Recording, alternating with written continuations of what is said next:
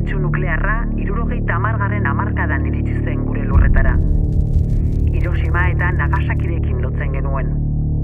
Mugimendu anitzak sortu genituen, inguruan proiektatutako zentralak gelditzeko asmoz, lemoiz tartean. Eta bat egin genuen beste aktivista batzuekin, planetaren desmilitarizazio eta desnuklearizazioaren alde. Gladys del Estalek bizitza eman zuen horren alde, ez eskerrik asko mezua.